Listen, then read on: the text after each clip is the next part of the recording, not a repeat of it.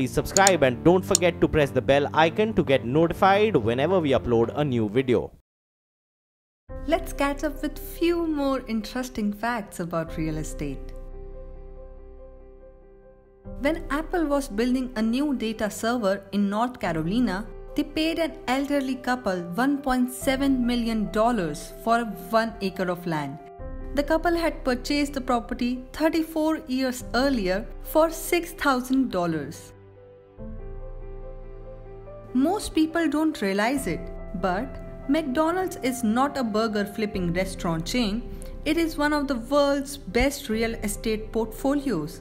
Franchisees do the burger flipping, and McDonald's get paid handsomely for owning the best commercial real estate all over the world.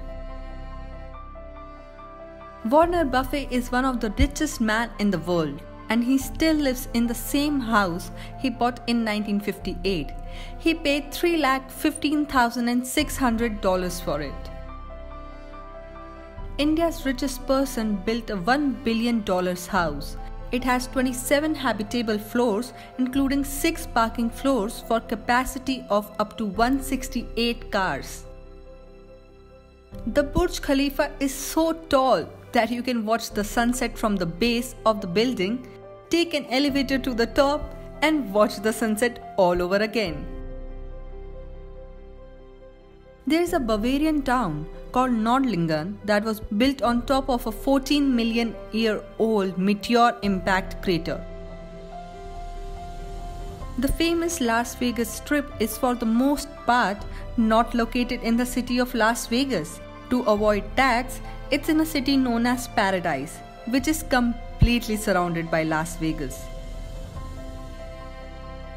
Someone became an actual millionaire by selling virtual real estate in the game of Second Life. Trinity Church on Wall Street owns 14 acres of Manhattan real estate with a net income of $38 million, making it the wealthiest individual parish in the world.